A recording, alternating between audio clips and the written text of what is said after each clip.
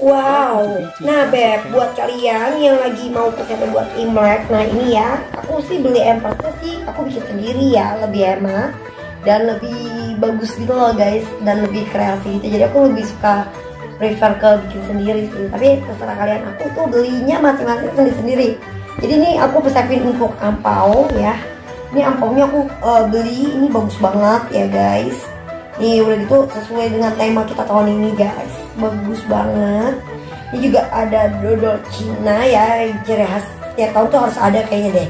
Keranjang itu buat kalian yang ngasih ke opo kalian Ngasih ke cici kalian Atau ngasih ke keluarga saudara kalian Ya. Bisa banget atau buat kerabat kalian Partner kalian ini cocok banget sih. Kalau aku sih lebih prefer sendiri jadi nanti aku isi kayak kue keranjang coklat and then aku isi sama cokok koi colokan apa sih ini ya? Apa namanya ini? Toko uh, apa?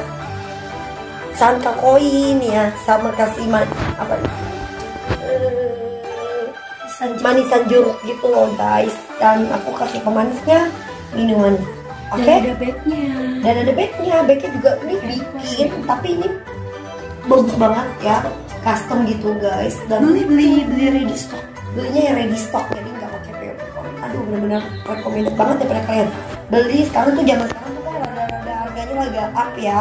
Jadi lebih aku sih lebih prefer ke bikin sendiri loh. Murah banget. Dan kalau kalian ngasih ke orang tuh kayak keren gitu loh guys. Pokoknya kalian tunggu ya kita akan packing packing dan aku akan reviewin satu persatu guys